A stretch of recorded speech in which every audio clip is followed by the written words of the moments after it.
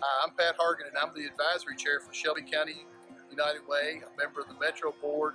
I'm an agency manager for Kentucky Farm Bureau, and I cannot tell you how excited I am to have the crowd here tonight at Mulberry Orchard for our first farm to table dinner.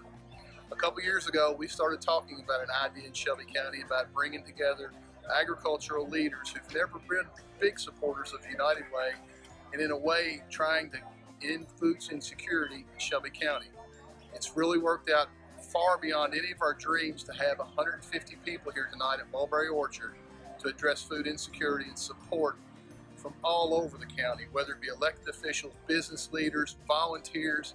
We've got everybody here tonight, and I cannot tell you how excited we are to have our first event. Come back and see us next year.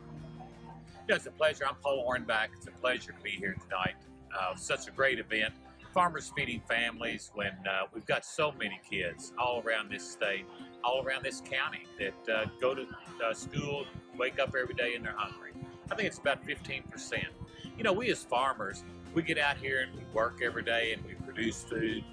We never really, a lot of times, understand and get the connection that we do have a lot of people that are food insecure, that don't have the ability to have the food to feed them and keep them healthy so they can do a good job in school and everything. So, you know, this is just a great thing. You look at the turnout that we have here tonight, uh, it's amazing. This many people have turned out. I think about 150 people have turned out here tonight in Shelby County for Farmers Feeding Families.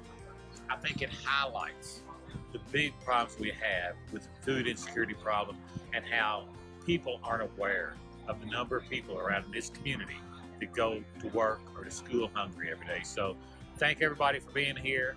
It's a great event. Uh, thank you, United Way, for the work that you all do and making sure you help all of our people here in Shelby County.